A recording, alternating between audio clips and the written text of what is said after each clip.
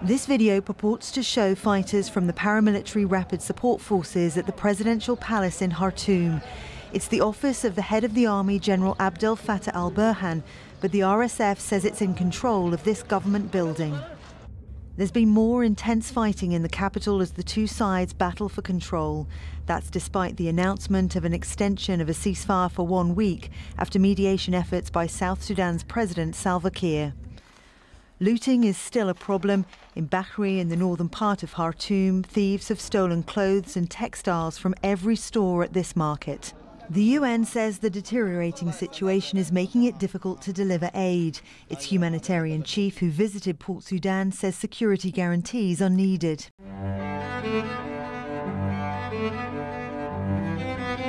So, if you are someone who is keen on following every single thing that goes on in Africa, then you must have came across the incident that is currently going on in Sudan.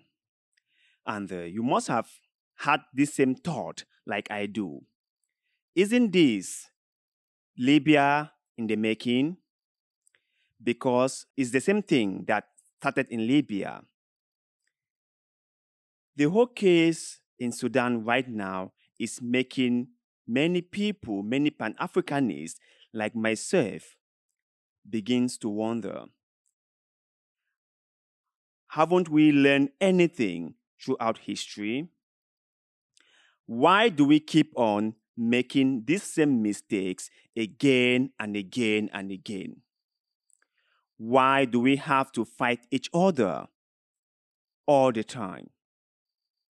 Why can't we simply handle situations in a way that it doesn't destroy the whole country.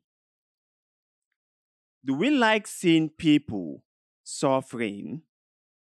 Do we like seeing everything we've worked throughout the years, everything we've built throughout the years, everything we've suffered to have throughout the years being destroyed because of simple disagreement. When Omar el Bashir was ruling Sudan, he did that with an iron fist. He punished anyone who said anything that wasn't in line with what he had in mind. And the people rose up against him and they finally took him out. And when this happened, I personally was really, really happy because I thought that for once, the Sudanese people are now going to enjoy the freedom and liberty they do deserve.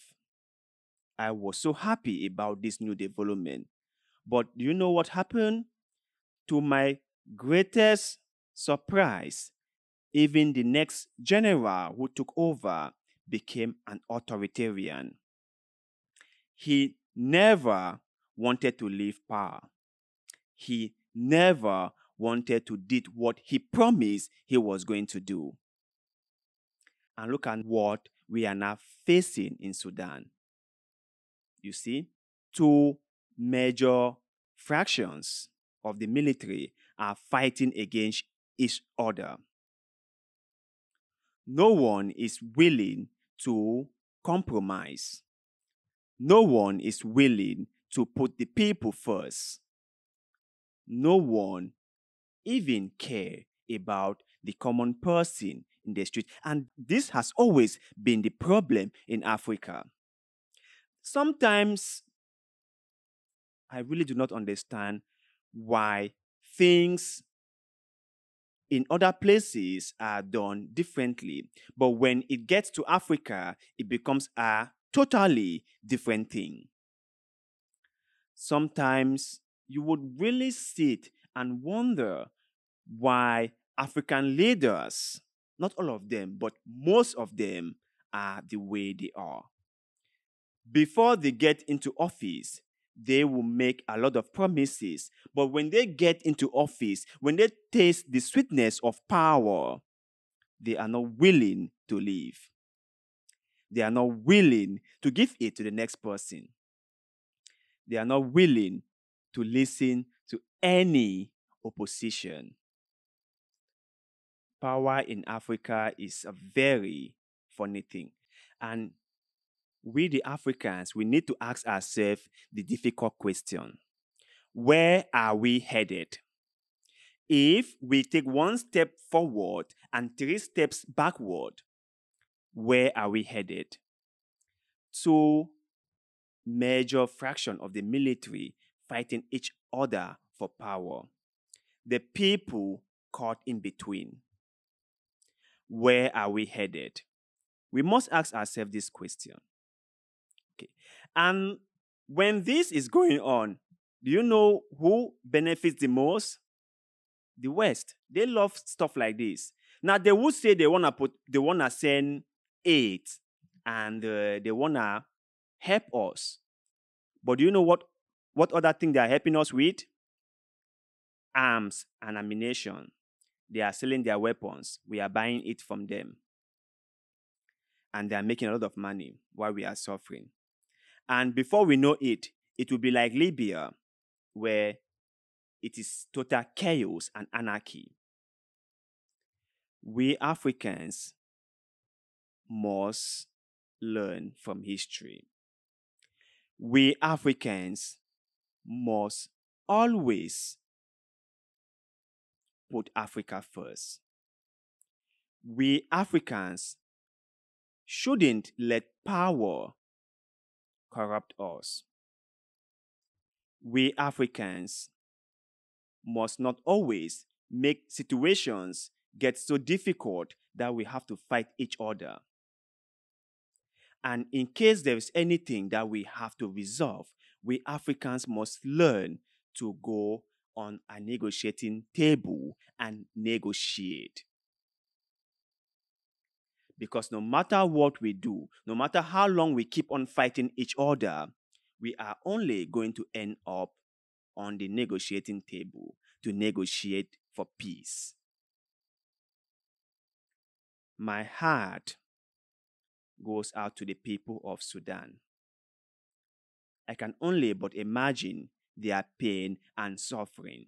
I hope that we, the African people, especially the AU, will now rise up and take charge of this situation. That the AU will now carry out its responsibility.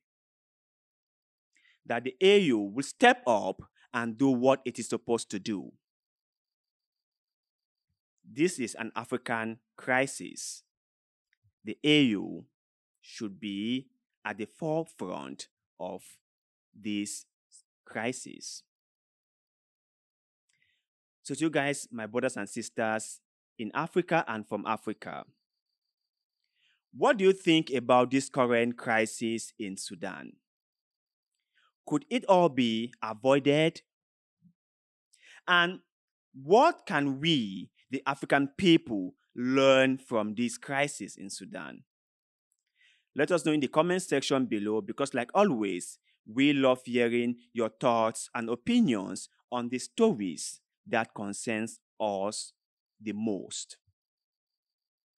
And please do not forget to like this video, share this video, follow our Facebook page, and most importantly, subscribe to this channel because little deed of goodwill like the one you are doing just now help us a lot and we shall forever be grateful to you.